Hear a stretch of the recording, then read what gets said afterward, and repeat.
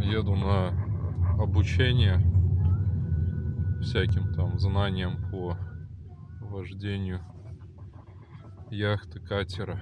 Потому что у нас теория была, а как бы практики не было. Через 200 метров поверните налево. Поэтому, чтобы брать там в аренду какую-нибудь огромную яхту, надо знать там как рация, вот это все работает. налево. Как с шлюзом там переговоры вести, как приборы там всякие на ней и прочее. И вот, чтобы все это понимать, знать, Через 200 метров Короче говоря, двухчасовой курс. Сейчас будем плавать и будут рассказывать. Будем ходить, а не плавать. Поверните направо. Я буду узнавать, как там что работает и так далее. Прочитали мне тут э, лекцию основную. Сейчас будем выходить в реку. Вот тут такие яхты. Вообще можно будет потом на прокат взять куда-нибудь там далеко сходить. Здесь специальный прибор, там эхолот, всякое остальное все есть. Чувствуете, да? Наш дымок. Сейчас прокат. ну, нормально. А, поэтому, поэтому, вот мы ходим. Мы ходим исключительно на... И скорость мы подбираем, да? а, на оптимальном режиме работы двигателя. Здесь, допустим, 3600. В режиме глиссера я имею в виду, да? 3600, ну а и там 3800. Можно, конечно, и дальше доваливать за 4, но там будет уже скачкообразно просто расход топлива. Глиссер это он когда На оптимально, да, едет? Да. Для того, чтобы еще отрегулировать, есть такие так называемые трансовые плиты. Трансовые плиты. Две лопаты сзади стоящие на корме. Они нам помогают, а, когда? Значит, когда они, допустим, вот я нажал их одновременно, да, они вниз опустились. И когда я э, начинаю разгоняться, разгоняться, да, да, на них начинает воздействовать сопротивление, да, воды появляется сила, толкающая корму вверх. И тем самым я легче нахожу на глиссере. А когда я уже на глиссере, они уже начинают меня тормозить. Когда Их надо, надо. наоборот, будет поднять, чтобы они не создавали сопротивление ненужного. Абсолютно. Понятно. А почему они так отдельными двумя кнопками? То есть, Да, потому что есть право и лево. а, то есть Допустим, можно... допустим, а, вы пригласили там кого-то, друзей, с собой. И друзья все вот взяли, вы вышли на гейсер, и тут они вот э, сгрудились, допустим, на одной стороне. Ну, что-то там им интересно, смотрят они туда, да? У вас будет пен. А, чтобы Вы тогда берете, да, левую, понятно, если они на левом борту, чуть-чуть начинаете ее опускать, и она, значит, катер выравнивает. И идете вы дальше спокойно. В этот момент появилась какая-то красивая картинка с другой стороны. А они вас перебегут. А, ну понятно. Вы получите еще больше. Получите еще больше крен, понимаете, да? Да. Вам придется, значит, обратно возвращать нужное положение, на котором была, да? Эта плита или там вот оперативно очень давить э, на другую противоположную, чтобы выровнять обратно, да? Да, понятно. В итоге, вот если они будут бегать там час, вас это очень быстро а, надоест. И тогда наступает самое смешное. Это не танцплощадка. Здесь есть определенные в разных лодках посадочные места. И бегать не надо. Сели и все. Потому что у нас нет вот этого поверхности да? Может быть волна встречного или мы обгоняем кого-то. Кадер может швырнуть, если вы на нее не зашли аккуратно, да? Если вы, допустим, не подсбросили, какая-то волна.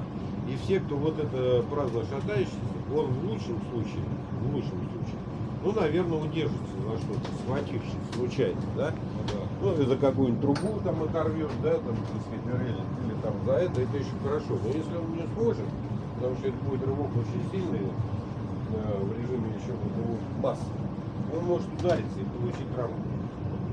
Понятно. Или еще сильнее может улететь. Все должны сидеть. Да, или, или, э, образно говоря, за что-то держаться. Поэтому вы будете говорить, так, ребята, значит, держимся. Держимся, да? Это значит, э, что-то будет. Держимся. Ну, вы видите, да, волна, не волна, там будет. Держимся. И они должны беспрекословно э, подчиниться вам. Не задавая вопросов, а что сейчас будет, да? Некогда. Ну, некогда. Потом объясните, что там будет. Ну да. Важно, чтобы они выполнили.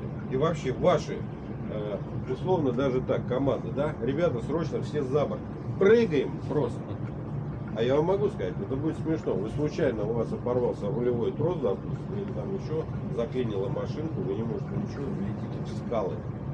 Эффект дельфина, когда вы переборщили, вы уж очень хотели на пяточки идти. Чем меньше смачиваемую поверхность, тем, ну, соответственно, меньше сопротивления. Вот, но можно получить эффект дельфина, когда нос вот так начинает прыгать. Очень приятное ощущение, значит, вы или ногу опустите, или, значит, начнете прижимать клин. Вот он еще убрать. Или когда сильное волнение, чтобы у вас морда не улетала нос, вы тоже их прижмете.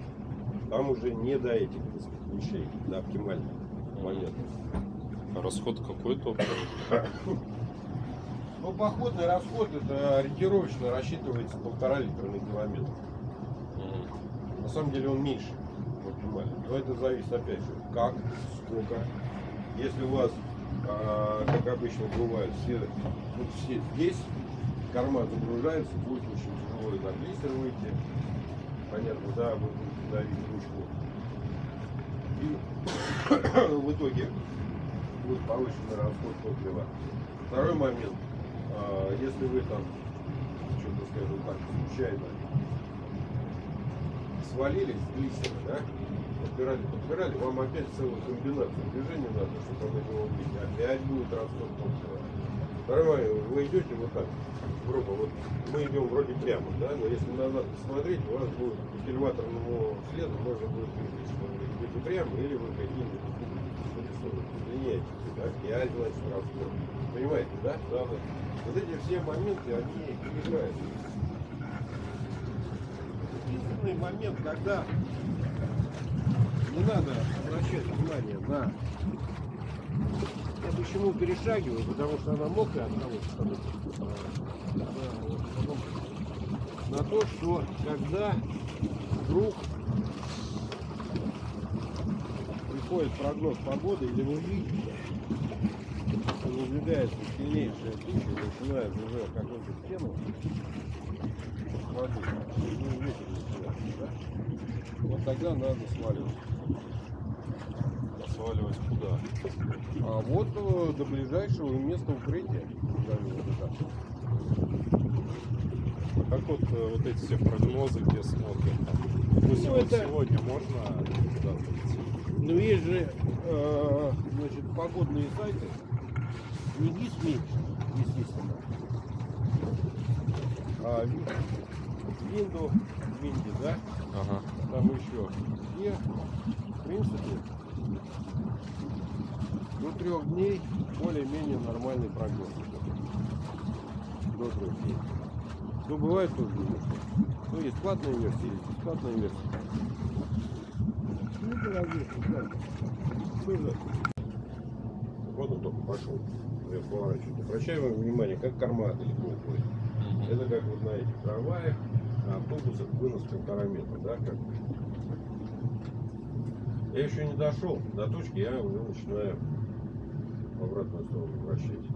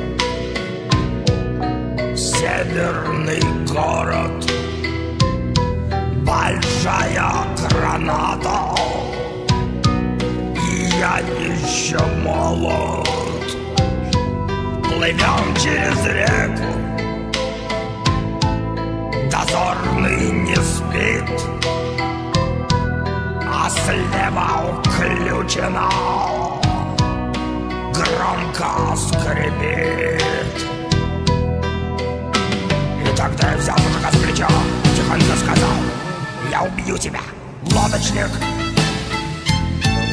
Я убью тебя, лодочник.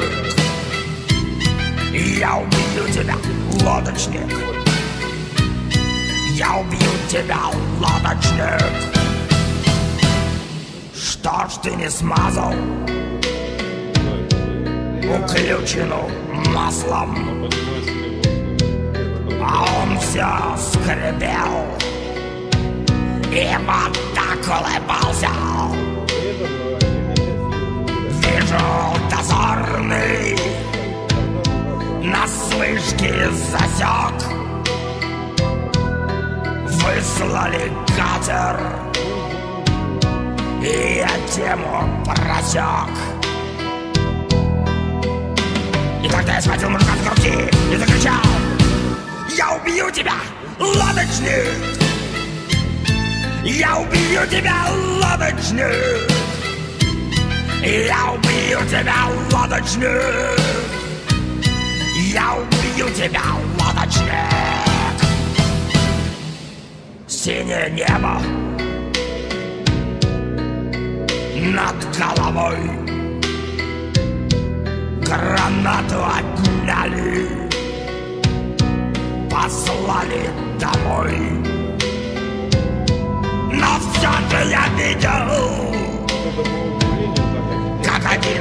генерал. Проклятому гаду!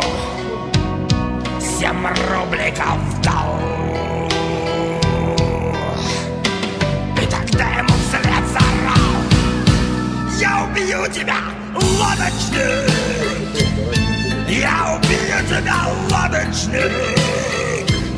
Я убью тебя, лодочник! Я убью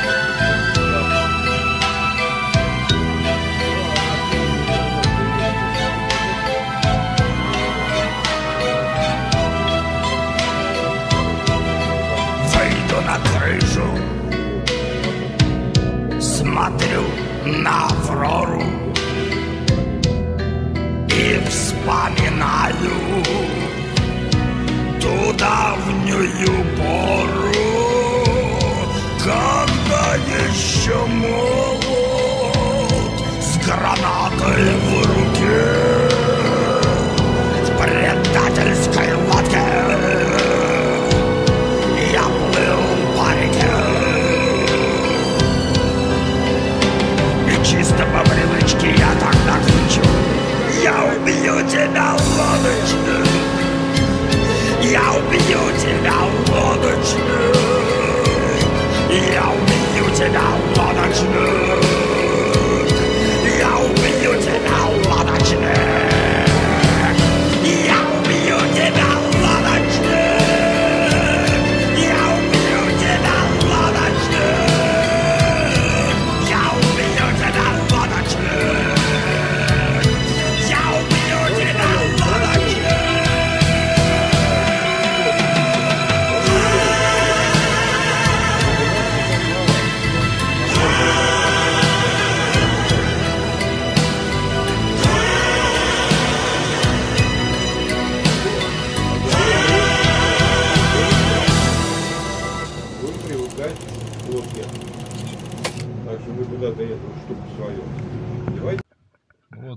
Занятие закончилось.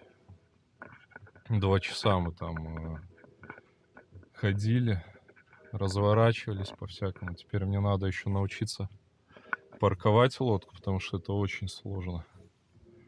Это не машину парковать, где она, так сказать, на земле стоит и никуда не двигается. А тут волна, ветер, э, и надо задом вот так заехать, как они там плотно стоят, и не задеть никакую-то просто нереально.